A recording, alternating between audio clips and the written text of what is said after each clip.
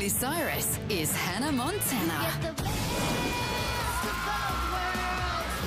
But now she has to choose I'm tired of living a double life. between living her dream or following her heart. It's an all-star cast in tonight's premiere, Hannah Montana. She's caught between two worlds, but will she choose her dream I'm tired of living a double life. or follow her heart? Hannah Montana the movie.